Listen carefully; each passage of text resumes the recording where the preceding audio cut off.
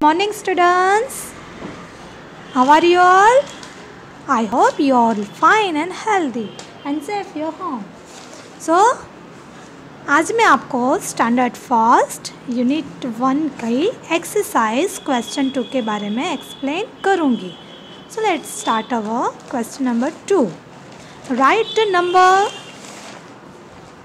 given at the topmost step of each ladder in the box one has been done for you means आपको यहाँ पे जो pictures दिखाई दे रहे हैं लेडर के, उस लेडर के पिक्चर में आपको क्या करना है? टॉप मोस्ट टॉप मोस्ट का मतलब होता है सबसे पहले वाला नंबर जैसे कि देखो, ये आपके लिए कंप्लीट किया हुआ है डन है। जैसे कि यहाँ पे कुछ नंबर्स दिए गए हैं और यहाँ पे बॉक्स में लिखा हुआ है टू मतलब सबसे टॉप मोस्ट में नंबर कौन सा है? टू तो यहाँ पे आंसर टू आ गया। वैसे ही ये दोनों लेडर है। अब इसमें आपको देखना है कि टॉप मोस्ट नंबर, सबसे पहले वाला नंबर कौन सा है? सबसे ऊपर वाला नंबर कौन सा है, वो आपको इस बॉक्स में अच्छे से लिखना है।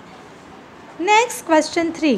Right the number given on the bottommost book in the box. One has been done for you. जैसे ही हमने यहाँ पे टॉप मोस्ट मतलब सबसे ऊपर वाला नंबर लिखा वैसे यहाँ पे जो बुक्स दिखाई दिए, उसमें जो नंबर्स लिखे, उसमें आपको बॉटम मोस्ट मतलब के बॉटम मोस्ट में मतलब होता है सबसे लास्ट वाला नंबर जैसे कि देखो, एक आपके लिए कंप्लीट यहाँ पे किया हुआ है डन है ना?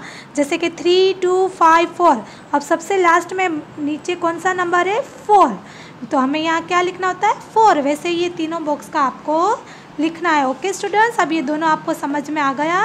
Okay next find my word मतलब यहाँ पे जो वर्ड्स दिए हैं, उसको आपको फाइंड करना है। Identify the words in the grid which are given in the clue box circle the words using a pencil यहाँ पे कुछ स्पेलिंग दिए गए हैं। उसको ये क्लू जो है, उस क्लू को आपको यहाँ पे फाइंड करने हैं और पेंसिल से सर्कल करना है।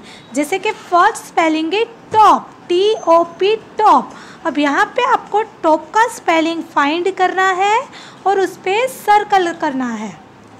जैसे कि देखो यहाँ पे टी ओ पी टॉप अब यहाँ पे देखो आइडेंटिफाई करो टॉप कहाँ पे है। अब टॉप आपको सामने ही दिखाई दे रहा होगा टी ओ पी टॉप तो फ़र्स्ट वाला फाइंड हो गया तो हमने यहाँ पे क्या करना है? सर्कल करना है। वैसे ये जो दूसरे के बाकी के जो स्पेलिंग है, उसको इस बॉक्स में फाइंड करना और अच्छे से सर्कल करना। ओके स्टूडेंट्स ये तीनों जो मैंने क्वेश्चन आपको समझाया है, वो आई होप आप अच्छे से समझ गए होंगे और आपको यही तीनों क्वेश्चन होमवर्क में करने हैं। Okay student so learn for yesterday live for today hope for tomorrow thank you have a good day students